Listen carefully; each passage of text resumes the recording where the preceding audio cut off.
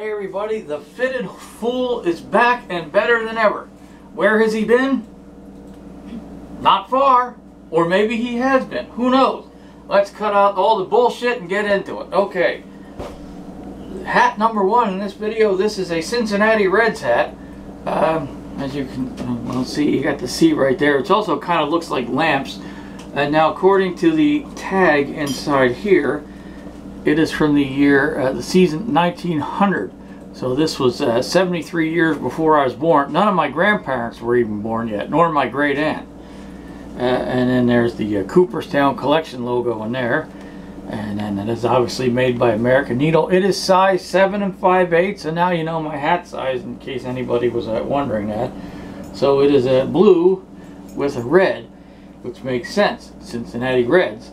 And then you have the uh, green uh, underbill on the cap here. Now, uh, I am a Yankees fan. I'm not a Reds fan. I don't have any uh, ill will at the Reds. I guess one might think I should have a grudge for the 1976 World Series where they swept the Yankees, but um, if you don't play well and you get swept in the World Series, that's you know that, that's what that's your fault. What are you gonna do? I I, I don't know. So. Um, and also in 1977, the first ever Major League Baseball game I ever saw was the Philadelphia Phillies and the Cincinnati Reds at the old vet. And I still have the ticket stub, uh, which ironically was one year to the day before my wife was born. So um, that was September 3rd, 1977. Now I guess you know my wife's birthday. So uh, that's coming up soon. Don't be cheap. Buy her a present. Yeah. So she just said, yeah. So anyway, here's the 1900 Cincinnati Reds hat. Uh, I really like this one, especially to see. It looks like kind of old school lamps or, or something uh, there. So I, I, like, and I like retro hats. So now here is a hat that's near and dear to my heart. This is my Camden River Sharks hat. Uh, Camden, New Jersey, where the River Sharks one play, one, once played, is the uh, city I was born in. So once upon a time, the city I was born in uh, had a minor league baseball team, and here you have the uh, C, and then there's a shark bite in the C, and the hat is blue, and the bill is red, and underneath it's also red, and uh, this is a flex fit, and um, there's the inside of the tag. I, I don't have my glasses on, I don't know what it says, but uh, there you can read that and see what it says, or, or you know, there you go. And on the back, it says Sharks. Uh, now, uh, many years, in 2008, I got to see the River Sharks play against the uh, Southern Maryland Blue Crabs. And, and um, it was nice that Camden had its own minor league baseball team, and it was right by the Ben Franklin Bridge. So, uh, in Patco, the train that goes from South Jersey to Philadelphia goes over to the side of the bridge. So you're watching a ball game, but you can also watch the train go over the bridge. You can watch the traffic go over the bridge. You can look over this way and see the Delaware River. Uh, you know, I could look over that way and see the hospital I was born. in. This is great. Um, but then, I don't know, there was some dispute between the uh, city of Camden uh, and uh, the team with the in regarding the, the rent for, for the baseball stadium. Or there, there was some, I don't know. Um, so, uh, there went baseball in Camden. The Camden River Sharks had moved up to New Britain, Connecticut or something where I think they're called the New Britain Bees now or something. Uh, I don't know. I, uh, you know, I got no use for the New Britain Bees because that was my team when they were the River Sharks. So whatever they're doing up there, uh, I don't know. But uh, they were in the Atlanta Le Atlanta League, Atlantic League, uh, and uh, so this, you know, and they had to be an independent team, if I'm not mistaken, because they would have had to pay money to the Phillies for operating in their territory or if they were affiliated with somebody, I don't know. But, uh, so they played at Camden, I cannot talk today, Campbell's Field, right there in Camden, New Jersey, uh, not too far away from where I was born. So actually, now yeah, if you look this way is the Delaware River, that way was a bridge. Actually, that over that way was the hospital where I was born. So, and how about that?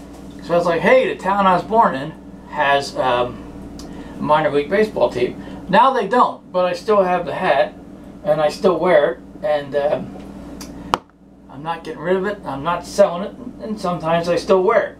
So this is my Camden River Sharks hat, and I like that the, the C has a, a shark bite. Uh, I should have bought another one of these and mailed it to a friend of mine named Jane. She's terrified of sharks, but uh, I don't know how much. Uh, well, these hats are probably, I don't know, they're probably rare and going for a fortune now. I don't know. You're not getting mine. And uh, lastly, here is the Pittsburgh Pirates. Would you say this is mustard yellow or gold over there?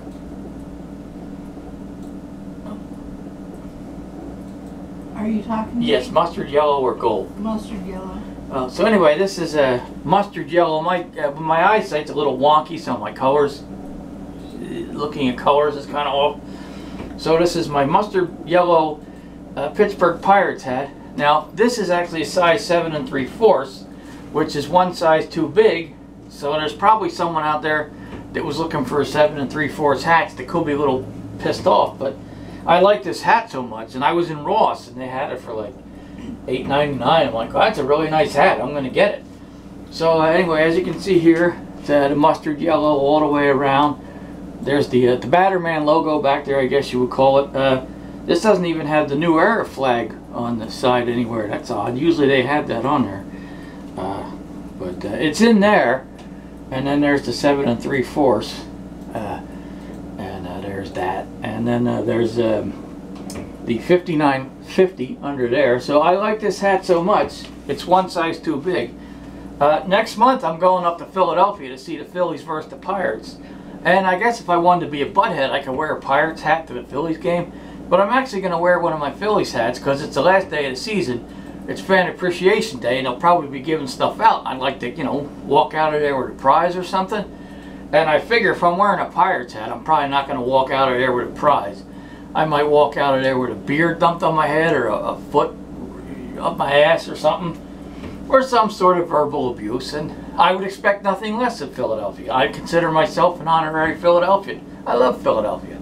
I like the Philadelphians, uh, you know, especially the ones that were booing Santa and throwing snowballs at him. That's funny, if you ask me. Now, not everyone's going to find that funny, I guess, but I don't know. It was December. There was snow. The, the Eagles were playing like shit.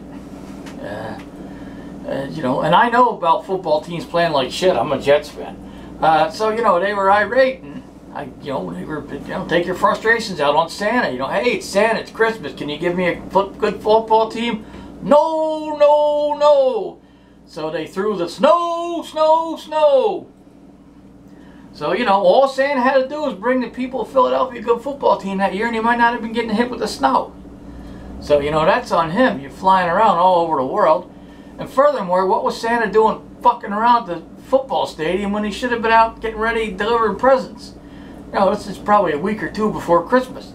You gotta fly around the whole world, buddy. You know, get your AA, your AAA magazines out and start planning this fucking trip. You gotta feed those reindeer and you know, all that stuff.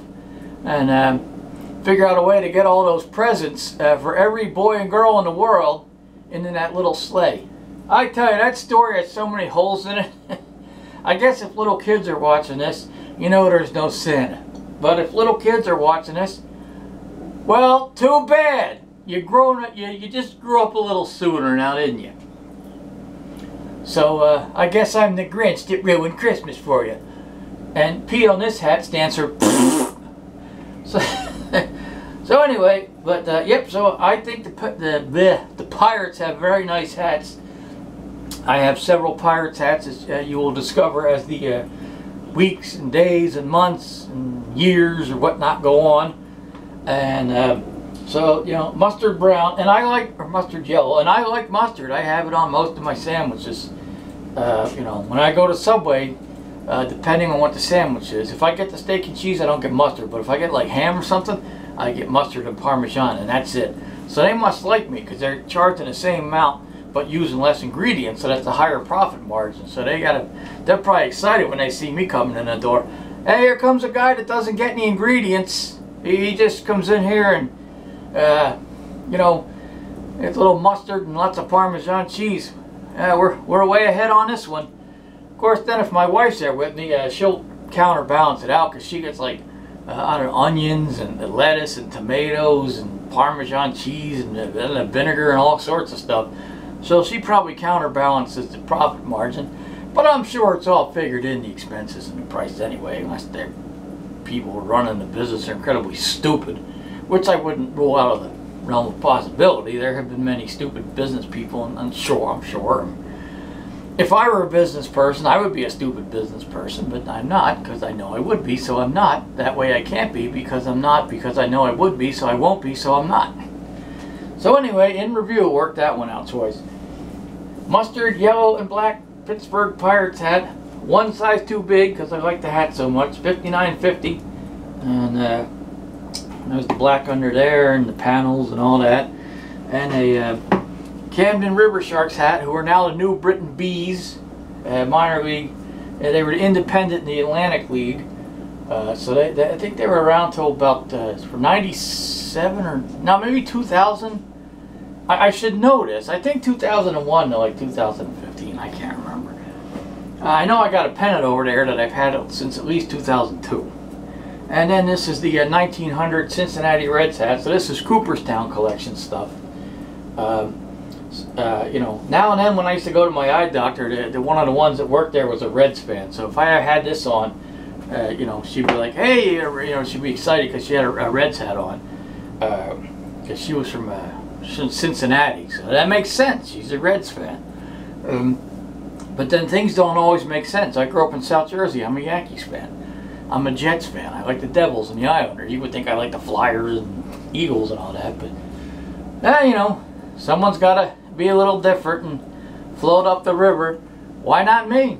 Up the river, up the turnpike, up the academy, up the irons, through the teeth, round the gums. Look out, gullet. Here it comes, and stay tuned for the next episode of The Fitted Hat Fool. I'm the fool. The hats are fitted. Thanks for watching.